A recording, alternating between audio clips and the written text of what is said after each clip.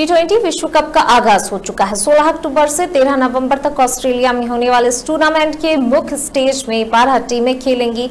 आठ टीमें पहले से ही तय हैं। वहीं चार टीमें क्वालिफाई कर पहुँची हैं। 16 से 21 अक्टूबर तक क्वालिफाइंग राउंड और 22 अक्टूबर से 6 नवंबर तक सुपर ट्वेल्व राउंड के मुकाबले चलेंगे। नौ और दस नवंबर को सेमीफाइनल खेला जाएगा। पहले सेमीफाइनल सिडनी और दूसरा एडिलेट में खेला जाएगा। तेरह नवंबर को दुनिया को नया टी चैंपियन मिल जाएगा। बात करें मैच की शुरुआत की तो आज से वर्ल्ड चैंपियन ऑस्ट्रेलिया का मुकाबला पड़ोसी न्यूजीलैंड से होगा। वहीं इंग्लैंड के सामने अफ़गानिस्तान की चुनौती होगी। चारों टीमें ग्रुप वन में हैं। कंगारू टीम अपने घरेलू मैदान पर जीत के साथ शुरुआत करना चाहेगी। वहीं भारत का मुकाबला कल, यानी कि तेईस अक्टूबर को खेला जाएगा।